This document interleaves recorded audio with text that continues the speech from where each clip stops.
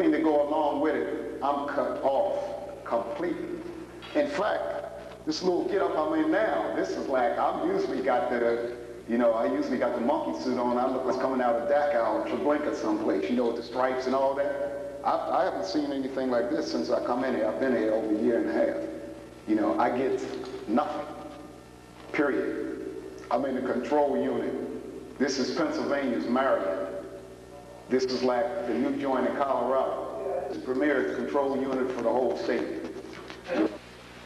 Russell Maroon Shoatz, a former Black Panther from Philadelphia, has been a prisoner for the last 25 years in Pennsylvania's maximum security cell blocks. Today he is held in the new Maxi Maxi prison in Waynesburg, the same prison cell block where Mumia Abu Jamal is held. This prison is located at the farthest corner of the state, near the West Virginia border, far from family, children, making visits from loved ones difficult, almost impossible. The interview was conducted by Dhoruba bin Wahad, who spent 19 and a half years in prison on charges of which he was innocent and was released only because it was found that the prosecution withheld information of his innocence from his defense attorneys. Your situation has been unique. You and other political prisoners uh, uh, have been treated differently. Um, how long have you been in isolation, in this form of isolation? I've been in isolation within these 24 years, over 16 or 17 years. Not straight. Off and on. But off and on, I've been in isolation and, and It was because of his politics as a Panther that Russell Maroon Shoatz has been persecuted inside the prisons. Cruel and unusual punishment by a racist criminal justice system where the numbers of prisoners, mainly from the black and Latin communities, are growing at an explosive rate. Since this interview was taped, the Pennsylvania prison system has banned the electronic media in order to cover up the injustices such as the terms of confinement of Russell Maroon Shoatz. So actually it's two joints for real. It's one joint that's a, a regular penitentiary that's out there, but everything behind these walls, you know, the building that Mumia is in, which is uh, the death row building, and the building I'm in, they're all identical, but they just, they're, they're, they're cut off, cut and run. I'm in the control unit, cut and run. And I'm being told that I will never leave here. How much time you have out yourself? Uh, an hour a day. 23 hours 23 hours, uh, three showers a week, five hours of outdoor recreation, and that's it. The unit is completely self-contained. Everything that's done is done on the unit. The meals are brought in, they're preparing, they're brought in. Everything else is done right on the your unit. meals, your meals are served in the cell? They're served right in the cell. So, so, so you don't come out even eat? I don't come out for anything except one hour, five days a week to And what's that, exercise. and what's that, that's a dog cage or something? That's a dog cage, single capacity dog cage, 12 foot fences, concertina wire, walls around the entire unit. So that's, There is a common mythology about prisons that suggests that, you know, these are country clubs. The politicians would have you believe that. Of course, nobody's rushing to come in here, are they? Um, imagine, if you will, doing life in your bedroom. And I mean 22 hours 22 or 23 hours, as is here now, a day, and another hour in a cage, you know. Um, I invite any broadcaster, yourselves included, to tour not the, just the visiting facilities, but to tour cells, to tour cages and to look at it from that perspective, you know. Um, there are different kinds of prisons in different states and different systems. There are some that are, of course, worse than others. There are some that are better than others. But all prisons are prisons and are by their very nature hellholes, you see.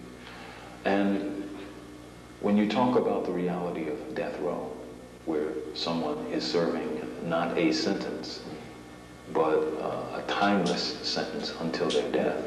And you talk about a special kind of hell. a special kind of hell that is reserved for some people and off limits for others. These United States have become the greatest gulag in the world by far. More than a million of our young men, overwhelmingly our young men, rounded up as a means of social control, pure and simple. And all that talent and energy and imagination that ought to be home with us, destroyed and brutalized. It doesn't have to happen. We had a moratorium on prisons in the 60s. We have to have a moratorium on new prisons now and a reduction of existing prisons. We have seen a quadrupling, a near quintupling of the prison population in the last 20 years since the Attica Prison Rebellion, which was a protest against overcrowding, and we had 12,500 prisoners in the New York State system. We now have 65,000, and the state hadn't even grown. And we're calling for more. God help us in that madness. Let me ask you something, uh, Russell. You, you've been in, you've been in prison how long now? Uh, 24 plus years. 24 plus years. That's correct. And since the time you've been in uh, uh, uh, uh, prison, uh, have you noted a, a, a decided shift in, first of all, the, um, the, the, the inmate population and their consciousness, and, and, and, and the way the Department of Correction goes about um, uh, administering the uh, prison system? And Well, the primary shift that I've noticed since I've been in the prison is the overwhelming numbers of prisoners who've come in the system. Presently, just within the state system, not counting the local systems, presently within the state system, they got over 30,000 prisoners. When I first came here, there was less than 4,000 prisoners in this system. In Pennsylvania, In Pennsylvania, it was less, I got that wrong, it was less than 5,000 prisoners within the Pennsylvania system. Now it's over 30,000 prisoners. That's the major change. Um, the makeup of the prisons has always essentially been the same in this state, which is roughly 60 or more percent black, possibly 5 or more percent Hispanic, and then the rest, you know, were white.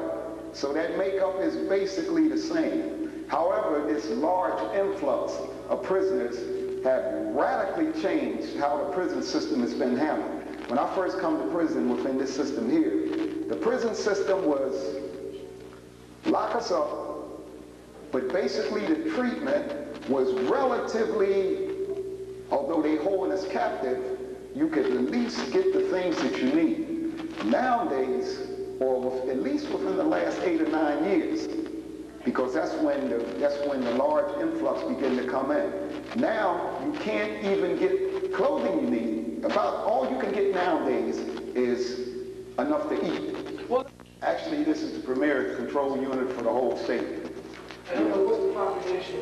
Altogether, it's 386, you know, these uh, maxi maxi cells. But out of 386 men, you will probably never see but 24 men that's in on your unit, in addition to the officers as well as maybe two workers. You know, they may come from another unit. That's about it. I've been here a little over a year and a half, and within that time, I've seen Brother Mumia twice. And I've been able to holler at him and say, how you doing, once within that time.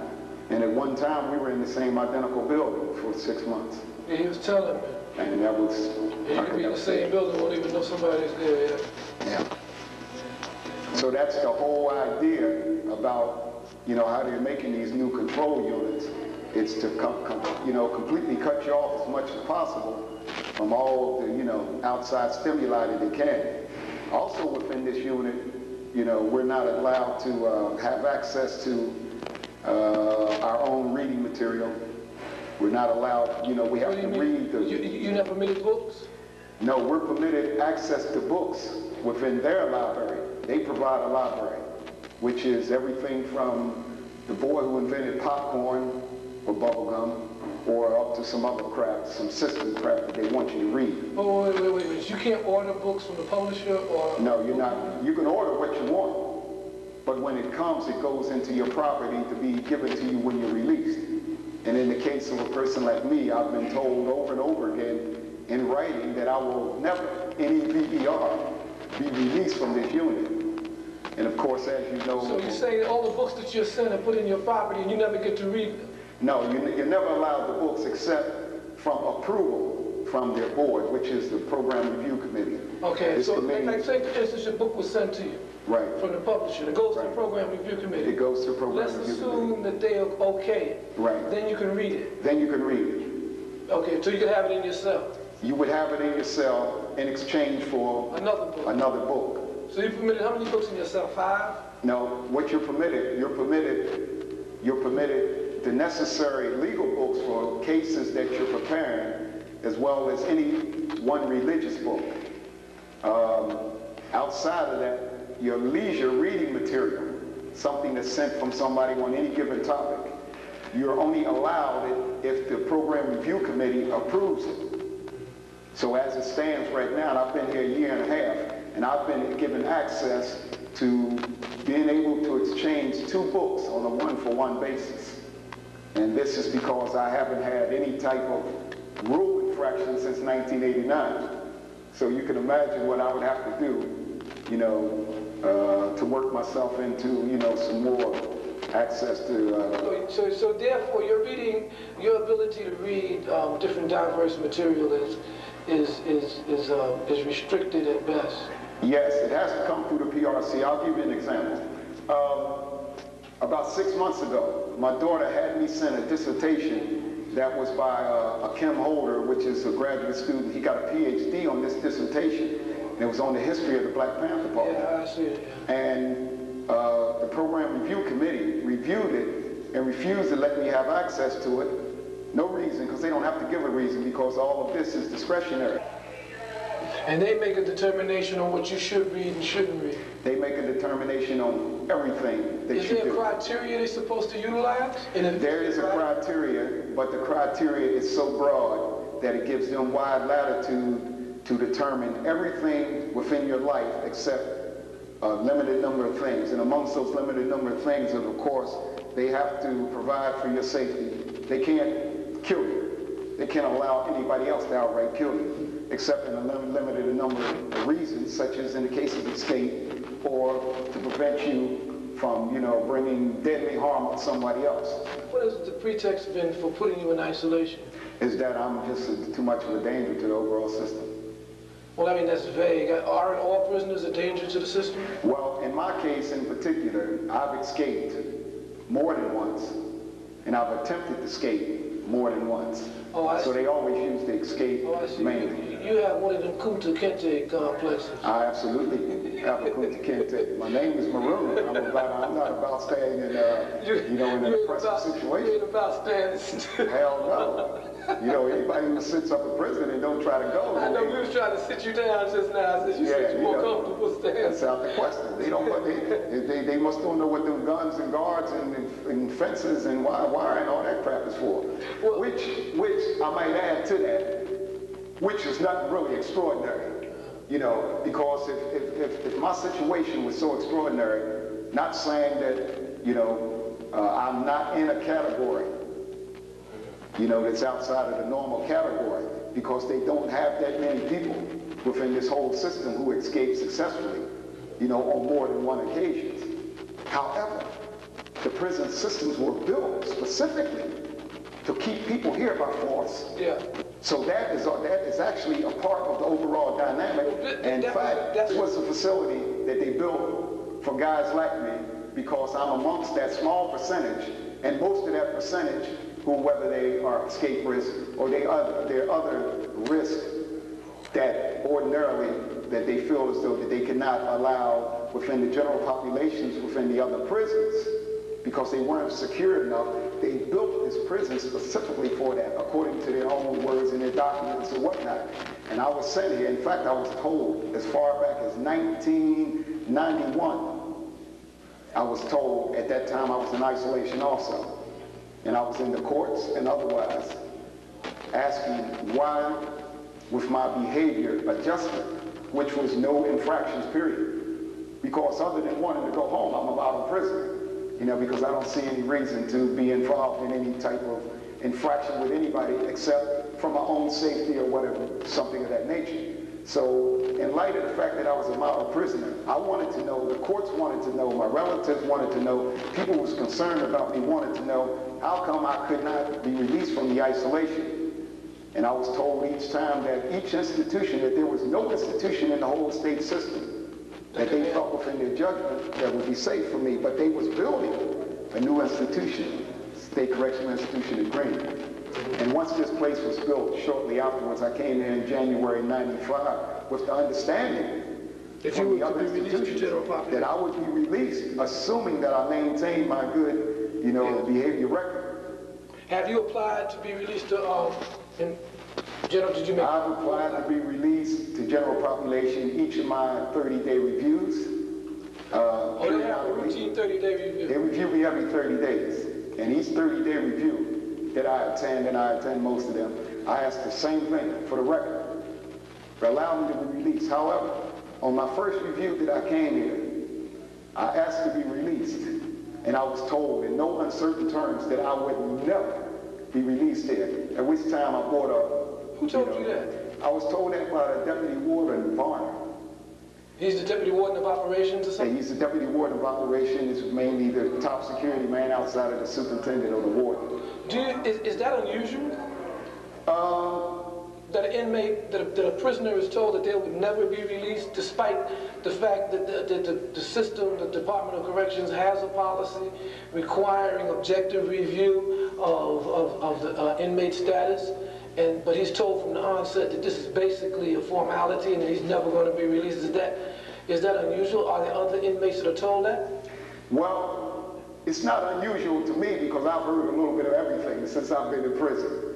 But for purposes of the law, it's highly unusual because even that is outside of the wide parameters that they're given by all the laws and, the, and, and all the regulations that I'm familiar with.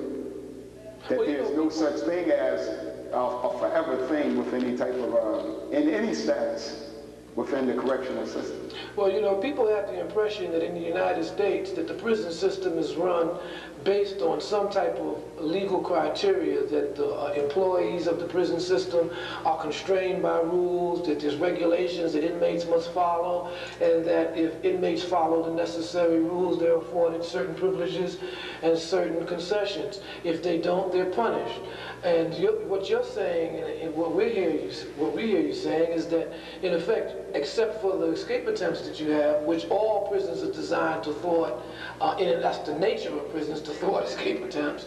That aside from that, you've been a model prisoner, but yet here you are in the maximum control unit within a maxi-maxi prison, handcuffed in a non-contact cage, uh, based on your history in this system and not on your actual conduct? Is that what you're saying? That's absolutely the case.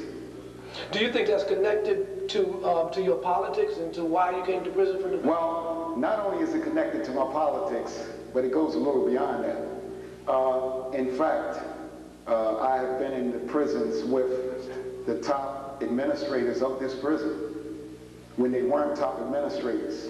In other words, I've seen them come up through the ranks because I've been here as long as most of them, you know, and more than, as long as any of them, more than most of them. Let's just put it that way. And Formerly, I've had contact with some of these top administrators, and in fact, I've had literally bodily, you know, uh, contact with some of these administrations. In fact, I escaped from one penitentiary, and one of the administrators, uh, I was holding him hostage for a while. I didn't do any harm to him. I just didn't want him to get in the way of my attempt to leave the institution. The status of your case now. Uh, you've been in jail um, uh, over two and a half decades. Uh, what is the status of your case now? The status of my case is that I'm serving two life sentences, uh, 19 and a half to 38 years, 5 to 10, 1 to 2, and 3 and a half to 7. And all of these are running consecutive, which means that I have to finish Each one. each sentence before I would begin another one. In Pennsylvania, life is natural life. There's no years on life. The only way you can get rid of a life sentence within Pennsylvania, you have to be commuted. You have to get a commutation that's got to be signed directly from the government. Uh, since I've been in this uh, system, in this time, uh, outside of some juvenile years where I was in juvenile institutions, um, the commutations that were given out does not amount to my knowledge to 100 prisoners. And there are thousands and thousands and thousands of lifers over this 20-some years. So the commutation as a general rule is not really something that a life prisoner can look forward to. I don't know what the future holds. Because as I said, when I first come to prison, it was only 5,000 prisoners.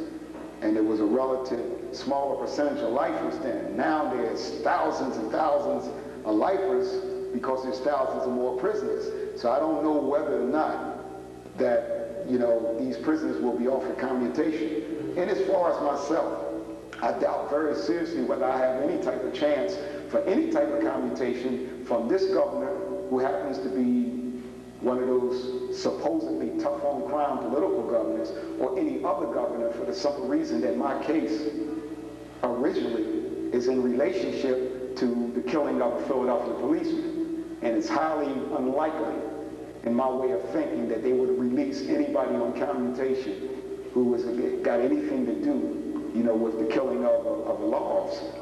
So my two lives and my other um, years that I got, uh, although I constantly fight, and I've been fighting them 20 some years, uh, I doubt very seriously whether there's any possibility of me ever leaving this system through the court system. Well, you know, now, today, the issue of police brutality and, uh, and the treatment of, uh, of national minorities by the police uh, are once again in the news and it's becoming an issue. Um, and like you said, you were convicted of, of, of, of a police uh, murder. Um, do you think that your, your involvement in the Black Panther Party was the reason why you were convicted of this, as opposed to concrete evidence that you had anything to do with this? Well, possibly, probably. I have uh, numerous FBI files that I received through the Freedom of Information and Privacy Act that says right on the face of them that my case was targeted specifically by the then, uh, you know, head of the FBI, J. Edgar Hoover. My case, uh, I was mentioned by name. I have at least close to 800, 800 pages of these files, and I could probably get thousands of pages, but I was not ever allowed access to them without the money, and I don't have the money to buy them. But I could see crystal clear by the files that I got that I was absolutely targeted by the Department of Justice through its Federal Bureau of Investigation director to give specific hands-on direction as to what should be done with my case. So the reason I say possibly is because I don't know just what all was done in relationship to my case and what, you know, my defense that I put forth. I don't know because I don't have access to these documents. But what I do have is people who, in other words, I don't have any federal charges, period. I never did have any federal charges. However, the director of the FBI, he got involved, of course, in my case because I was being sought on unlawful flight to avoid prosecution, which is a federal case. But as soon as I was captured, that was dropped. So nominally, there was not supposed to be any type of uh, federal input. Nevertheless, I got these files where it shows that the Federal Bureau of Investigation, through its director, was into my case all the way up to, I don't know how far it goes, but it goes beyond the point where I was arrested and I was being tried. So I don't know what's there. I don't know without that whether or not, you know, something Well, is underneath familiar, or are whatever. you- are you familiar with, uh, with the Federal Bureau of Investigations program called uh, PRISACTS, Prison Activist Program? Absolutely. Um, do you know that this was a national program in which they trained uh, state and local law enforcement Absolutely. correctional uh, officials in, into uh, how to deal with political activists such as yourself? Do you think that you were targeted under this price act while you were in um, Pennsylvania custody? Pennsylvania? I couldn't say specific whether I was or not because I would have to have some documents to corroborate my ideas. But I do know this. I know that since the first day I've ever come in this system, outside of my attempting to liberate myself and to go home by escape and any other means, I have always been treated differently. And so And, and so you were in federal custody for a period of time? I was in the federal custody for close to a year and a half. So they allowed me into the general population, which I stayed, which is the first time I had been in the general population since 1983. You didn't have any trouble while you were in jail? I had absolutely no trouble at all. In fact, I was one of them so-called quote-unquote model prisoners, which meant that I went to school, I went to work, I minded my So this business. was basically the only time you've been in general population was when they tried to get rid of you out of the state system and send you to the feds, and the feds found out that they were uh, bamboozled by the Yes. state, and they put you in general population, and then the state took you back, So as soon as I was returned, I was immediately put back into... put back in the hole. My work and my school and my other adjustment record at the federal penitentiary, and I was in the general population. And I collected all these things and I presented them when I returned to the institution that sent me. But of course, they knew, they knew why they had sent me, so they wasn't really concerned with what I said when I come back. So I was locked up there. The only thing I was told is what I mentioned earlier, that look, we're building an institution for guys like you.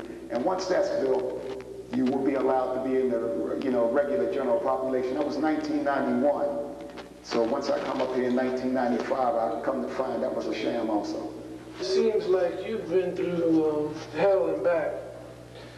You think that, um, you don't think that there's a campaign that's possible to change, at, at the very minimum, change your prison status?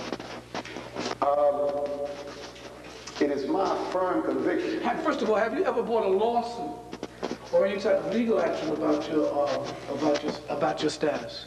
Uh, I've been bringing legal actions for the last 20 years. In fact, within that time, I've become a pretty accomplished jailhouse lawyer. I constantly bring legal actions on my behalf and other people's behalf. But this never does anything, in my case, it helps other people, but it never helps me.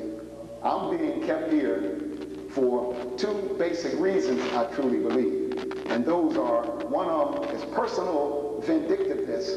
I'm deemed as someone who will always attempt to do something positive on the part of the prisoners.